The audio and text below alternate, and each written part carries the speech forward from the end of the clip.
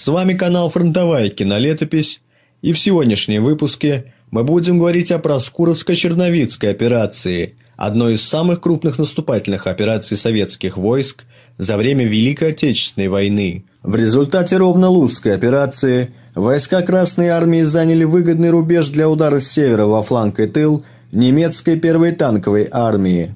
Проскуровско-Черновицкая операция проводилась частями Первого Украинского фронта, войска которого после гибели Ватутина возглавил маршал Жуков. К началу марта войска Первого Украинского фронта имели в своем составе 800 тысяч человек личного состава, около 12 тысяч орудий и минометов, 1400 танков и САУ и почти 500 самолетов. Советским войскам противостояли две немецкие танковые армии – Первая танковая армия под командованием Ганса Валентина Хубе и четвертая танковая армия Эрхарда Рауса. К началу операции немецкие армии включали в себя 29 дивизий, в том числе 7 танковых и одну моторизованную, и большое число других соединений общей численностью до полумиллиона солдат, и имели на вооружение около 1100 танков и штурмовых орудий. До начала операции Советскому командованию пришлось провести значительную перегруппировку сил и средств, так как наиболее мощные силы располагались на левом фланге фронта. Перегруппировка войск проводилась в сложных условиях бездорожья и весенней грязи. Большой проблемой было снабжение войск всем необходимым, особенно горючим, которое приходилось подвозить, нагружая танки. Несмотря на это, Жуков решил не переносить сроки начала наступления, так как с каждым днем распутица только усиливалась, а оборона противника укреплялась. И утром 4 марта по немецким позициям нанесла удар советская артиллерия. Вслед за огневым валом в наступление перешли части 60-й армии Черняховского и 1-й гвардейской армии Гречка. Вслед за ними в бой ввели второй эшелон, 4-ю танковую армию Баданова и 3-ю гвардейскую танковую армию Рыбалка. Советские армии за два дня прорвали немецкую оборону и вклинились на глубину до 50 километров. Начавшееся наступление на самом деле стало для немцев неожиданностью. К исходу 10 марта передовые подразделения наших войск вышли на рубеж Тернополь-Волочиск-Проскуров. Это привело к перехвату основных линий снабжения немецкой первой танковой армии. Стремясь остановить дальнейшее продвижение Первого Украинского фронта, немецкое командование стало спешно перебрасывать резервы. 9 марта части 60-й армии и приданного ей 4-го гвардейского танкового корпуса Павла Полубоярова встретили сильное сопротивление немецких войск на поступах к Тернополю.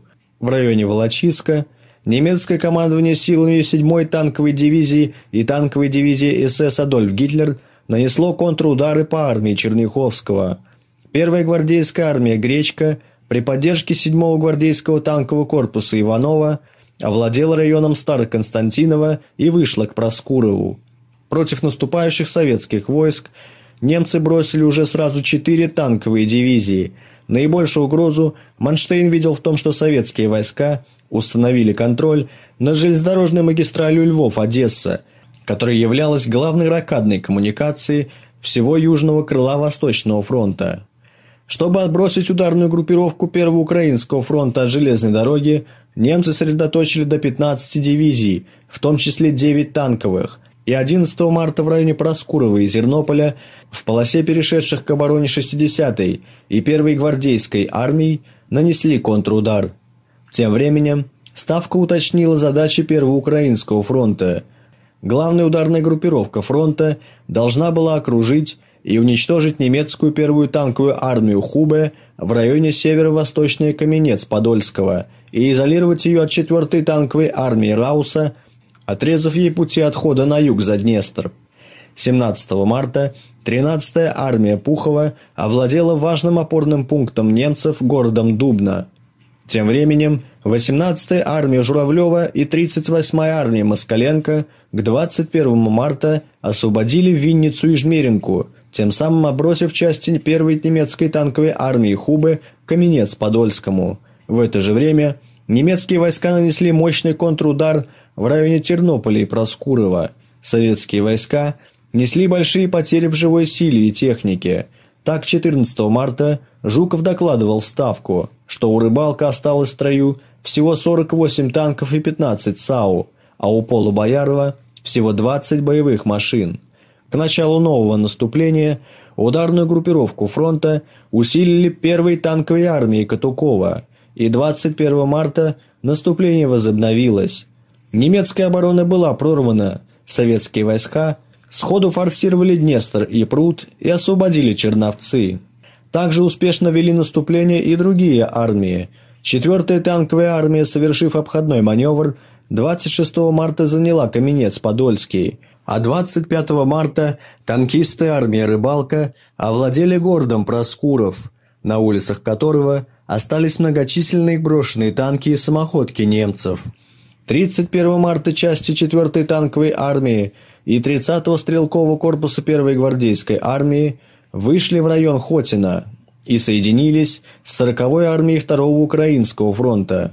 Тем самым в районе северо-восточнее Каменец-Подольского было завершено окружение немецкой 1-й танковой армии Хубе. В котел попали 23 дивизии, в том числе 10 танковых, общей численностью до 200 тысяч человек. В это же время основные силы 4-й танковой армии Рауса были отброшены на запад. Только в районе Тернополя продолжала оказывать сопротивление окруженная группировка противника, которая будет ликвидирована лишь к 17 апреля. Немецкие войска оказались перед угрозой крупной военной катастрофы, сравнимой со Сталинградом. Однако к тому времени советские войска уже понесли большие потери в предыдущих боях, поэтому создать плотное кольцо окружения им не удалось и уже 31 марта окруженные соединения танковой армии Хубе пошли на прорыв. Несмотря на ввод в бой Жуковым резервов, советские дивизии не могли остановить немецкие танковые клинья. 4 апреля немцы нанесли удар навстречу своей первой танковой армии силами переброшенного из Франции второго танкового корпуса СС Пауля Хаусера. Через три дня боев окруженная группировка пробилась к своим в районе Бучича. Тяжелые бои шли еще 10 дней и закончились без каких-либо успехов для обеих сторон.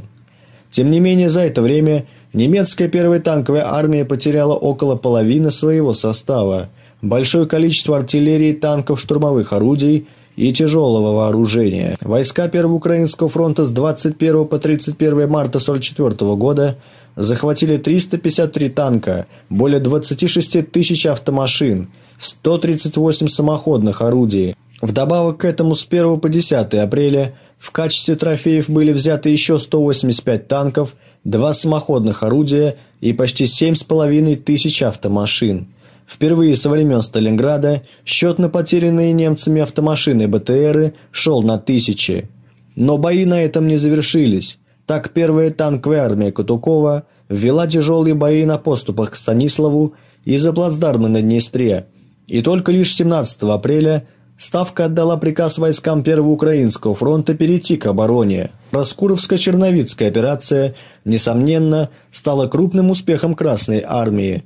Советские войска освободили от немцев обширную территорию Западной Украины, вышли на государственную границу и лишили противника основных коммуникаций. Первая и четвертая немецкие танковые армии Хуба и Рауса понесли тяжелые потери, 22 немецкие дивизии – несколько танковых и моторизованных бригад потеряли более половины своего личного состава и большую часть тяжелого оружия и техники. По сути, они утратили боеспособность и нуждались в серьезном пополнении.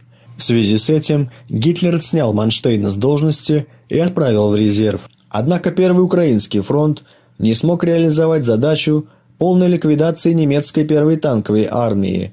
Выходившие на внешние и внутренние фронты окружения – Советские части в жестоких боях потеряли много людей и техники. Из-за весенней распутицы отстали тылы и артиллерия.